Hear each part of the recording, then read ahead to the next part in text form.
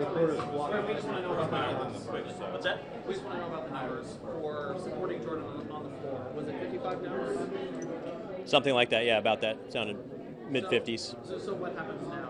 What, what, what Well, we got two days to lobby and uh, make phone calls, uh, understand why people aren't there quite yet, and hopefully get them there uh, before Monday. Um, you know, the, the you start applying the pressure of public opinion and uh, good, intimate conversations, and hopefully that number goes down over the next few days instead of going up. So, I'm confident. I'm confident he'll get there.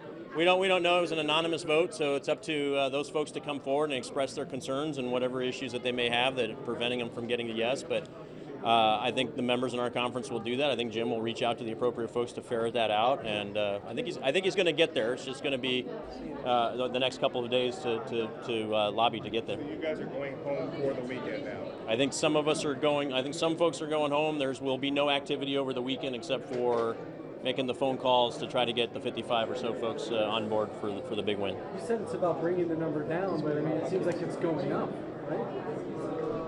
The number of no's Number is no's. I mean, like when we were whipping, you know, Scalise, we had, you know, maybe 15 that were hard no against Scalise for the floor. Now we've got 55 that are hard no's against Jordan.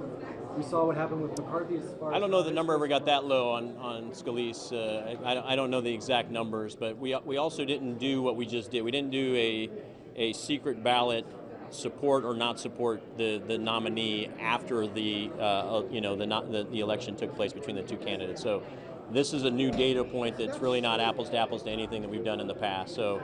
Um, it's still a big number. Still a lot of meat on the bone here, right? So this is it's roughly about 30 votes short from where McCarthy was before we went to the, the floor for him. So we've got 48 hours now over the weekend to have those conversations and have those phone calls, get people on board. Um, at some point, you got either critical mass uh, or you don't, and you go to the crucible on the floor and let the American people hear these conversations. A lot of people look at January and think it was uh, an embarrassment. It wasn't ideal, but to me, it was still healthy. We did it in public. We had the debate. We eventually got to a yes and concurrence, and we elected a speaker after 15 rounds. It shouldn't have to be that long, but I, I'm not opposed to doing that if we have to. I think we owe it to the American people. So, thanks, guys.